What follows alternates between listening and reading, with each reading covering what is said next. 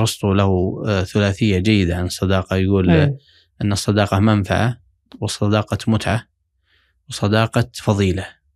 أما المنفعة تنتهي بانتهاء المنفعة والمتعة تنتهي بانتهاء اللذة. وصداقة فضيلة هي التي تستمر ويقول أن أعلى هذه الصداقات هي أن تجتمع الثلاث منفعة ومتعة وفضيلة. بكر أبو زيد رحمة الله عليه أظنه له تعليق على هذا. آه، يبدو نعم. لي أنه في في شرح الحلية أو كذا. نعم. آه، فيها ابن القيم رحمه الله ذكر ثلاثة أنواع الصداقة أن هناك من هو كالغذاء لا بد منه. وهذا الصاحب الذي يعينك على الخير ويدلك عليه ويدلك ويهديك في الطريق.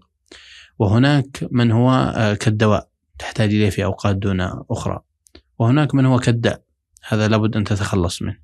فهذا التقسيم أيضا مفيد جدا في معرفة أنواع الصداقات الغزالي له أيضا تقسيم رباعي. آه، قسمها يعني بالثمر والظل وقال أن هناك من يشفع من الصداقات من يشفع ولا ينفع من ينفع ولا يشفع من ينفع ويشفع ومن لا ينفع ولا يشفع. فلا ظل ولا ثمر مثلا. اي قسمها أيضا في إحياء علوم الدين. فهذا أيضا أحد أنواع الصداقات.